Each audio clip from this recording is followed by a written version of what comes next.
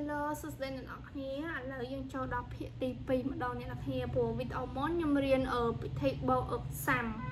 សាំឡើងលើអ្នកនរគ្នាប៉ុន្តែឧទាហរណ៍ថាបើសិនជាគ្រូដាក់របាយការណ៍ឲ្យយើងធ្វើអញ្ចឹងណាប៉ុន្តែយើងធ្វើជារបៀបផ្ដេកអញ្ចឹងអសអសអឺអឺអសនេះអសអសវារត់អសវារត់កន្លែងហ្នឹងណាអ្នកនរគ្នាអញ្ចឹងមកខ្ញុំធ្វើសាំបឆោអញ្ចឹងមិញភាគភាគភាគ1ណា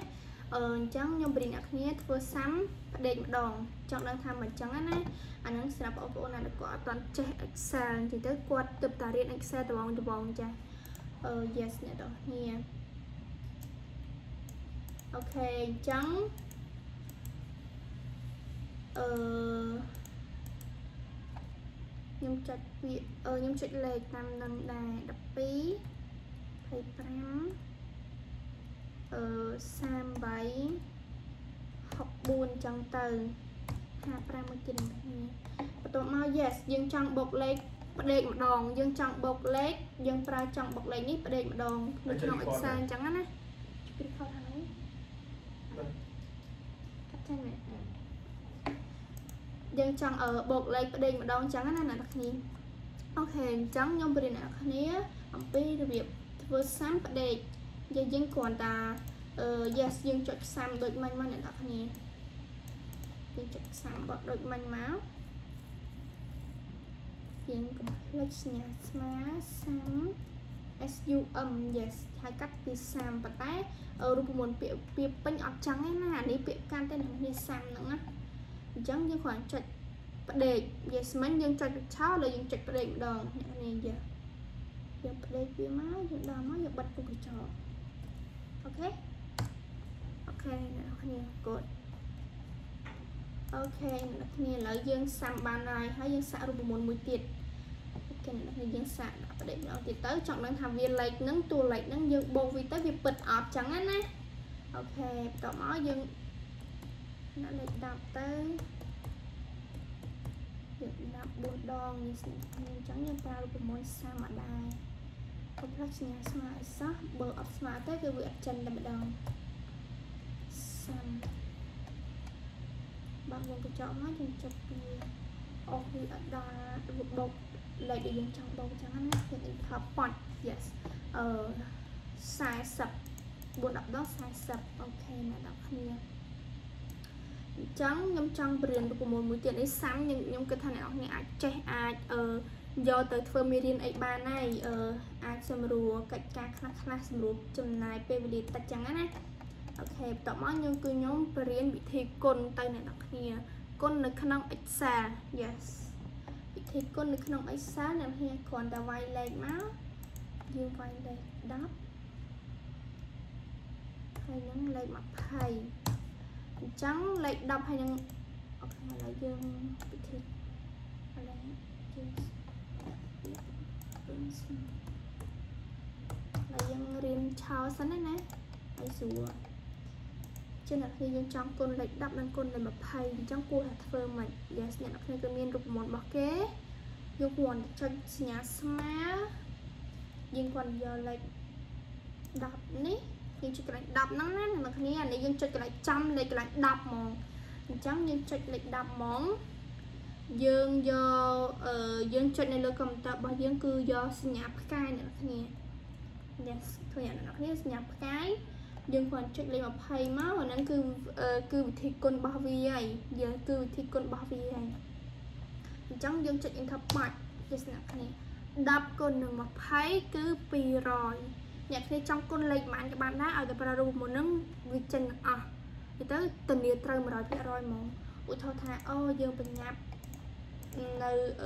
5នាទីទៀតគ្រូយក assignment អីចឹងណាគ្រូយកលំហាត់អីចឹងទៅ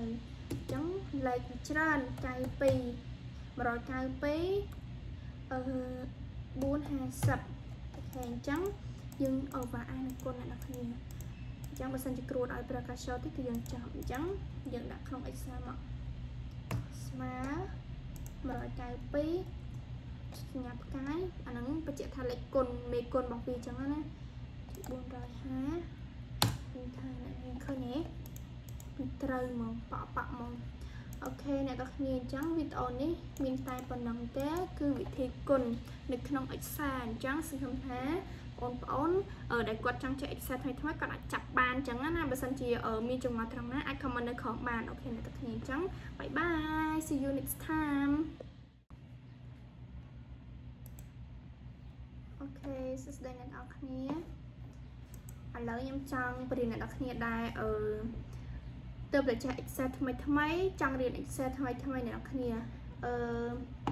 ហើយ Excel គឺវាសំខាន់សម្រាប់សិស្សអឺបងប្អូននៅគាត់ចង់ធ្វើរបាយការណ៍ប្រចាំថ្ងៃគាត់ត្រូវរៀនអីគេខ្លះគាត់ចង់អឺដាក់កាលវិភាគក្នុងមួយថ្ងៃហ្នឹងយើងត្រូវរៀនអីគេខ្លះក្នុងម៉ោងប៉ុន្មានក្នុងអីប៉ុន្មានអញ្ចឹងណាអ្នកនរគ្នាអញ្ចឹងខ្ញុំប្រិយអ្នកគ្នាអំពីរបៀប count លេខអ្នកនរគ្នា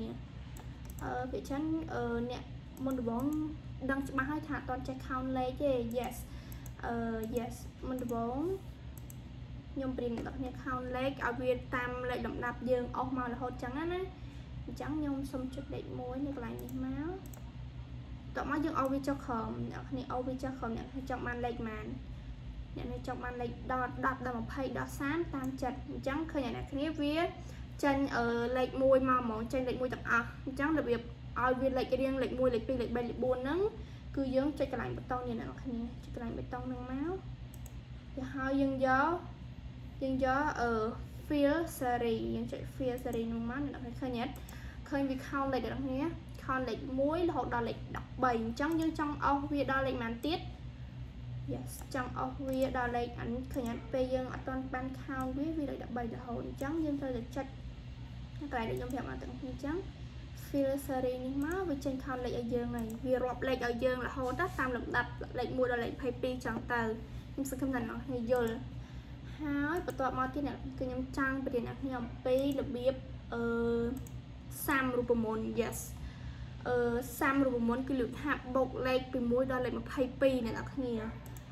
yes ឥឡូវខ្ញុំលុបសុំលុបអាលេខនេះចោលសិនកុំឲ្យវាពាក់ព័ន្ធគ្នាញ៉ៃអញ្ចឹងណា អូខេអញ្ចឹងខ្ញុំប្រិយអ្នកគ្នាពីរបៀបសាំរូបមន្តយ៉ាអញ្ចឹងខ្ញុំសូមចុចលេខ11អ្នក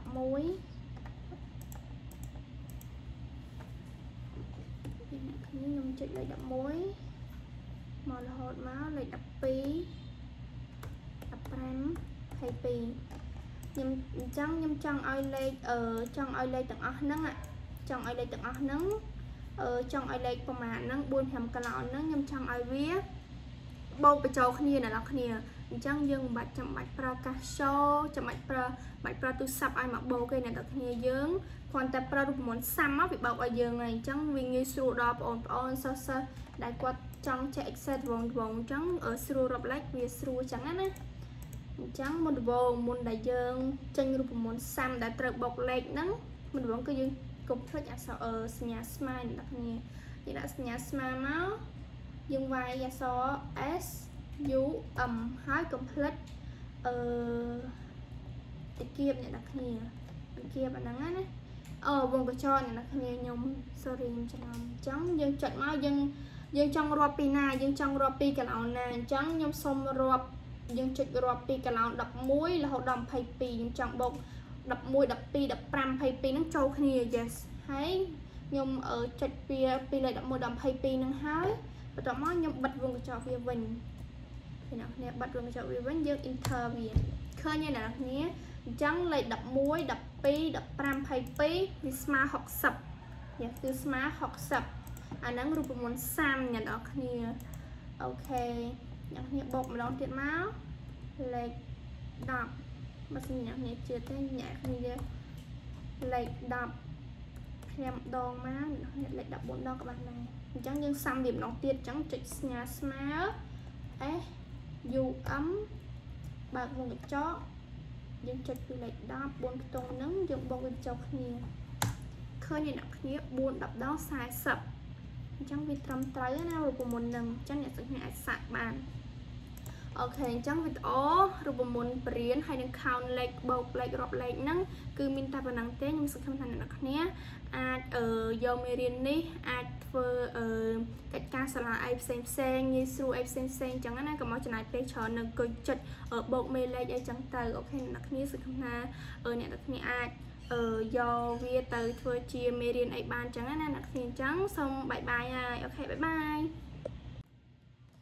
Hello សួស្តីអ្នកនរគ្នាឥឡូវចូល part 3ហើយអ្នកនរគ្នាថ្ងៃនេះខ្ញុំចង់បង្រៀនអំពីអឺរបៀបធ្វើរបាយការណ៍យើងធ្វើរបៀបកឡោនយើងធ្វើរបៀបអឺមាននិយាយទៅយើងធ្វើរបៀបដូចមានតារាងអីចឹងណាឧទាហរណ៍ថាអ្នកគ្រូដាក់តារាងឲ្យខ្ញុំមកអ្នកគ្រូដាក់តារាងមួយដែលមានចំនួនសិស្សប្រហែលអ្នកអញ្ចឹងរៀបរាប់សិស្សអឺដែលយើងដាក់ភេទរៀបរាប់សិស្សដាក់ភេទអាយុថ្ងៃខែឆ្នាំកំណើតគាត់កើតថ្ងៃណាអូខេអញ្ចឹង មុនដំបូងអ្នកទាំងគ្នាមុនដំបូងគឺយើងត្រូវរៀបចំតារាងនៅក្នុង Excel សិន yes អឺអូខេឥឡូវខ្ញុំរៀបធ្វើតារាងអ្នកគ្នាអាចមើលតាមនឹងបានណាណាពីស្រាប់អ្នកគ្នាអាចមើលខ្ញុំតាន់អញ្ចឹងខ្ញុំសុំទាញវាអ្នកគ្នាយើងទាញវាមកយើងឲ្យលោតសញ្ញានេះណាសញ្ញាព្រួញព្រួញឡើងលើចក្រមហ្នឹងណា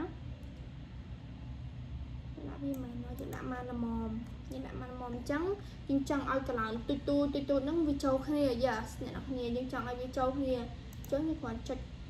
ឲ្យវាចូលគ្នាយើងចង់បានកន្លងហ្នឹងធម្មតាយើងចង់បានតារាងហ្នឹងប្រវែងប៉ុន្មានអូខេអញ្ចឹងខ្ញុំគ្រាន់តែយើងចុចអាតារាងទូទូហ្នឹងឲ្យដល់គំនិតចង់ខ្ញុំចង់បានធំនឹងចង់បានប្រវែងប៉ុណ្ណឹងអញ្ចឹងចង់ឲ្យវាចូលគ្នាយើងគ្រាន់ចុចដាក់ merge center អ្នកគ្នាអាច merge center ទៅឃើញឯកឡនហ្នឹងវាចូលគ្នាតែមួយហើយអ្នកទាំងគ្នាអញ្ចឹងយើងអាចវាយវាបានហើយអញ្ចឹងអូខេខ្ញុំដាក់ខ្ញុំដាក់តារាងសិស្ស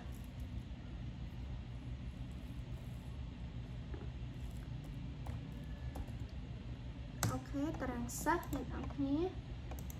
អញ្ចឹងខ្ញុំដាក់តារាងសិស្ស yes ខ្ញុំអត់ទាន់បានដាក់នេះណា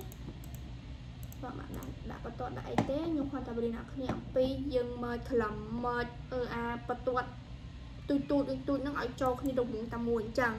yes អ្នកនរគ្នាអញ្ចឹងយើងផុតម្ដងទៀតយើងចង់បានវាយនេះចឹងទៅខ្ញុំចង់បានតារាងនេះផងនេះយើងមើលវាឲ្យចូលគ្នាឲ្យបង្កើតជាតារាងមួយឲ្យបង្កើតជាមេតារាងអ្នកគ្នាមេតារាងយើងដាក់ តារាងសិស្សឆ្នាំ2022តារាងសិស្សរៀននៅសាកលវិទ្យាល័យនេះនេះចឹងទៅណាអញ្ចឹងយើងមើលមកយើងចុចវាយ៉ាងណាផងយើងអស់វាយើងអស់វាយើងចុចមកជាប់ណាយើងអស់វា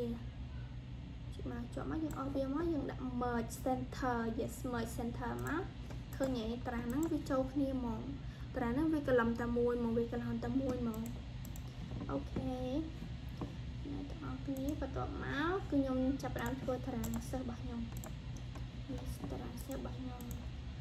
អឺហកខ្ញុំខ្ញុំជិះមកចូលមកអានេះកន្លែងឈ្មោះខ្ញុំរៀបអញ្ចឹងសិនមកកន្លែងឈ្មោះ head ថ្ងៃខែឆ្នាំកំណើត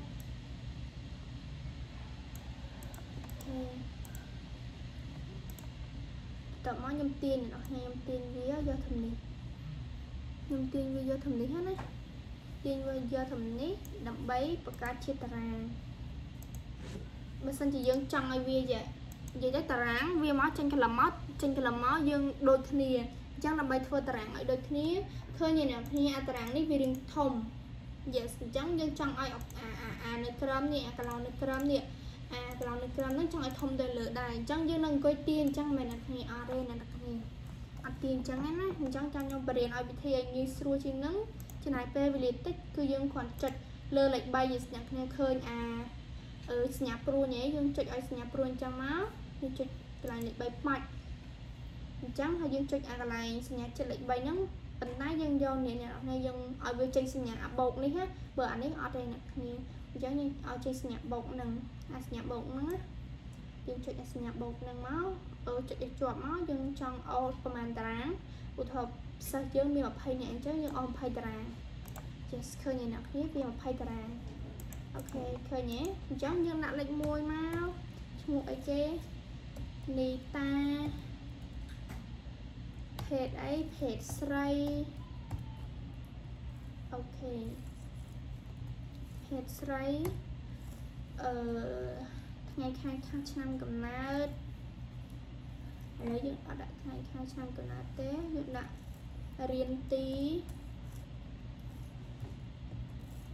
រៀនទី9អីចឹងមកអ្នកតាគ្នាអូខេតាមមកយើងទៅសេទៀតមកអូមិញយើងអឺផាតមួយមិញយើងវិធី count លេខគឺយើងចេះហើយយើងដាក់ count វាមក